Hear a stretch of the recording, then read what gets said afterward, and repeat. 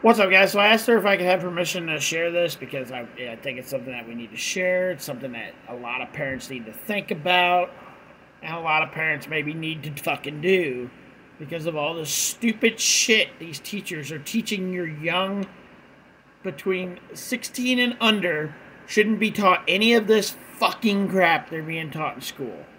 So, anyways, I got permission. She said it's fine. I didn't take a screenshot of that, but she did say it's okay to for me to make this video. So, so I have been uh, teetering with deciding to pull the grandbabies from public school and do homeschool. But we are in Florida, and the sick brainwash it wasn't as bad here. So I thought. Just this morning, my six year old granddaughter asked me why we decided to make her a girl when she was born she really asked it as if we had that choice. I keep I kept my cool. I didn't ask her why she asked this. I instantly knew. I generally but firmly explained that God made her what she is long before she even was born. We had a nice convo- conversation, and I finished cleaning up after breakfast dishes and called her dad. My son who has full custody of all three of his babies, and we all shared a household. So we all share a household, so they didn't have to go into any daycare or babysitting, etc.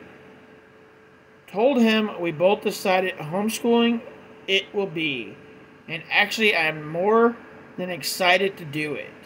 This way, no more worrying about them being hurt in school, both physically and emotionally and for sure no brainwash no brainwashing them over it. Yes. Sorry people, but if you're born a girl, that's what the fuck you are. If you're born a boy, that's what the fuck you are. If you want to play dress up when you turn 18, that's your choice. Before that, leave the fucking kids alone. Leave them alone. But more kids and more parents need to think about taking their kids out of these fucking schools that are doing this stupid shit and do the schoolwork at home because this this shit it's just not working anymore. If you want your kids to be brainwashed, send them to these schools that brainwash them.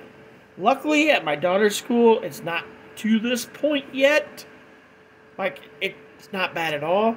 At my son's school, it's not bad. So they go to totally different schools because I, I have custody of my daughter and I have my son every other weekend, but they go to different schools. So it's not bad at their schools yet, but there's so many schools like Tammy's uh, granddaughters uh, going to that this kind of shit happens. We need to wake, wake the hell up and stop this crap from happening all the time. Wake up.